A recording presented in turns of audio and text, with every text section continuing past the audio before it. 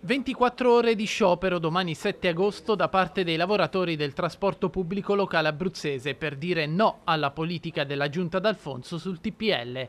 CGL e UGL hanno organizzato due eventi, un sit-in alle 10 sotto la regione Abruzzo in Viale Bovi a Pescara e un incontro dibattito con i politici regionali a Teramo alle 17 all'Hotel Abruzzi. I sindacati degli autoferro-tranvieri contestano soprattutto i tagli al settore, meno 10 milioni di euro per il 2015, che significano anche tagli alle corse e ai servizi.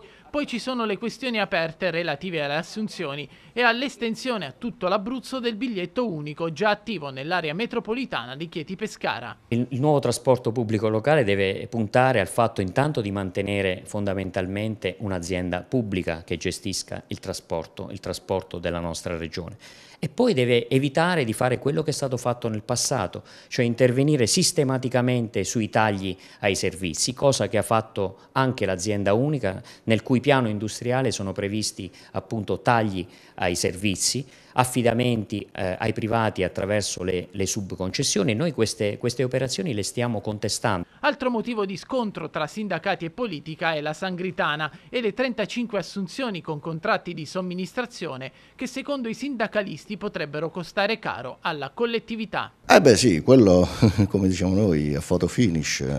Mentre noi stavamo in regione, per, stavamo discutendo il contratto, il nuovo contratto di Tua mm, sui nastri, sui riposi e quant'altro, la stanza a fianco, a fianco il presidente Di Nardo deliberava in GDA eh, le nuove assunzioni e, eh, e transazioni a 110 mila euro.